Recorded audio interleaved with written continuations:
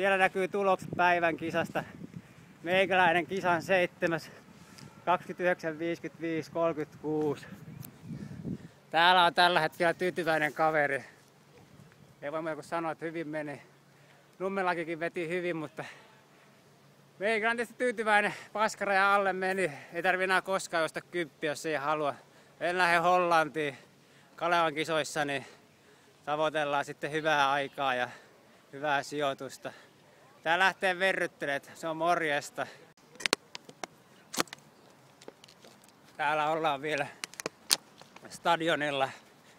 Österbro stadion oli kyllä meikäläisille suotuisa tällä kertaa.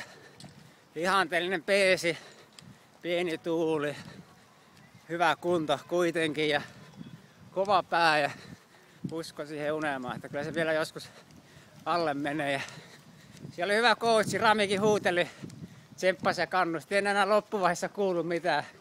Sen verran oli kova paine päällä. Että seitsemäs sija, paska sija, mutta ei väliä. Yksi unelma saavutettu. 8 sekuntia vaan voittajasta. Nimenomaan. Se on niin. seuraava tavoite. Pojat kyttäili hyvä. siinä niin oikeesti ja ne katteli tälleen näin. Se oli reilu kinsainen maali. Kyllä, kyllä. Onneksi olkoon alitukset. Kiitos, kiitos. Älä vielä Meni kuvaillaan. Nummelakki tulee tuota noin. Joo, lähde vaan tulee, niin mä katon. Eikä näyttää tästä kuvia, niin...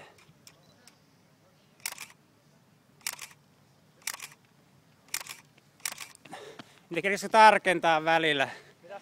Mä en en ihan varma kerkeekö sinne välillä enää tarkentaa. se, joo, se puoleen väliin vetää. Se voi, että se lopussa se ei ollut enää kauhean tarkka, niin alussa se. Wishing all the best. Yeah, I'm Yeah. so happy. Yeah, what I everyone go- feels 46 or Sorry?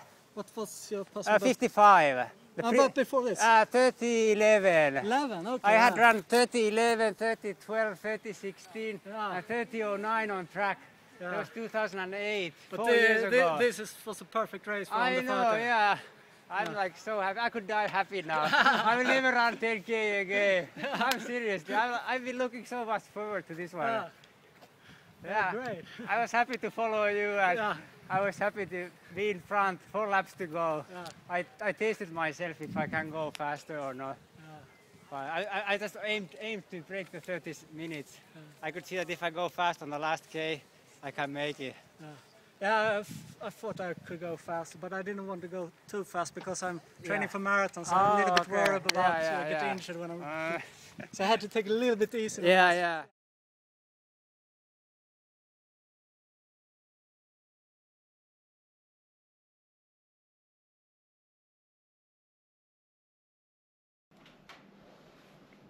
Toukokuussa 2012 Pohjoismaiden mestaruus ratakympillä Kööpenhaminassa juoksin ennätykseni 29.55. Olin seitsemäs ja tota, vähän fiilistelymielessä tein siitä videon. Tuossa alussa näkyy noita valokuvia, tuloksia. Ja itse asiassa videota, mitä iPhoneilla heti kuvasin juoksun jälkeen, blogiin olin tänne kirjoitellut sitten seuraavana päivänä vähän fiiliksiä. Se miten tämä muistui mieleen, niin tota, vähän on nivunen, nivuset ollut nyt kipeänä, niin silloinkin oli ollut, oli tota, ollut nuo SM-maastot tuolla, tuolla, tuolla tota, Pudasjärvellä oli SM-maastot, niin tota, vähän oli nivusvaiva ja kuitenkin viikko siitä niin, niin sitten rävähti, eli puolen tunnin alitus tuli, niin, niin tota, sen, sen perusteella muistin tämän tapahtuman ja ajattelin tehdä sitä video. Örebrunin stadioni oli kyseessä, oli etukäteen tilattu 14.45 vauhtia. En ihan siihen ajatellut uskaltavani, mutta se olikin vähän rauhallisempaa ja eka toinen oli 2.58. hain sopivaa rytmiä ykkösradan ulkosyrjää ju, juosten. Jossain vaiheessa pääsin sisäradalle ja seurailin tilannetta. Vitonen oli ihan optimivauhtia. 14.58, eli pari sekuntia alle 15 minuutin. Seiskan kohdalla joudun jo töihin, mutta roikuin porukassa hyödyntäen etusuoran vastatuulta. Peesissä takasuoralla vastaavasti tuuli otti selkään ja jeesasi. Kierroskierrokselta juostava matka väheni ja mies alkoi syttyä kisaan. Keskityin vain ja ainoastaan itseeni ja tahtotila sen kuin vahvistui. En antanut tuumaakaan periksi, vaan päinvastoin menin kärkeen vetämään neljä kierrosta ennen maalia vauhdin hidastuessa. Kilpakumppanit olivat tässä vaiheessa juosseet kolme rinnakkain ja alkaneet henkisen taistelun voitosta. Mulle tavoite oli vain ja ainoastaan puolen tunnin alitus. Olimme pikkasen aikataulusta jäljessä kahdeksan kilometrin kohdalla 73 sekunnin kierros jokonen jo tuli. Rytmi onneksi parani ja jää, jälleen usko unelman toteutumiseen vahvistui. Pari kierrosta ennen maalia Islannin poika polkasi radan ja kaatui edessäni. Otti silti porukan kiinni ja sinnitteli kolmanneksi. Onneksi en, men, en mennyt katuun, eli kaatunut hänen mukanaan. Kierros ennen maalia aika oli 80 sekuntia jäljellä. Tiesin saavuttavani unelmani. Nostin kädet ylös jonon hännillä hyvissä ajoin ennen maaliviivaa maaliviivan ylittämistä ja karjuin. Seurasi kevyt polviin nojailu, endorfiinijytky, lisää karjumista ja halailua.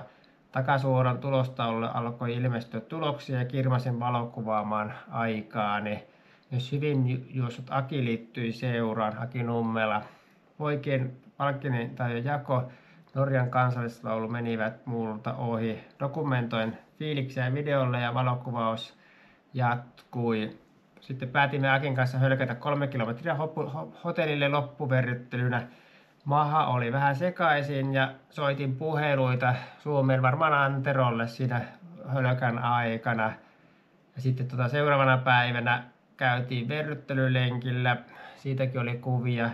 Se oli se, mikä se, tota, se, se vapaa kaupunki siellä Kööpenhaminassa, Kristianiassa sen ohi mentiin ja katteltiin vähän maisemia, merenneitokin tuli nähtyä ja olisiko Kööpenhaminan maratonikin ollut sitten siinä samaan aikaan menossa ainakin kuvien perusteella. Suomen joukkue näkyy näissä seuraavissa kuvissa, ketä sillä kerralla oli. Keskisuomalainen huomioi sen ja lyhyet palstallekin joku, olisiko Pentti Virmanen kirjoittanut tai joku muu vastaava. Mutta tämmöiset pikaiset muistelut tähän, tähän loppuun vielä Miikan puolen tunnin alituksesta ratakympillä.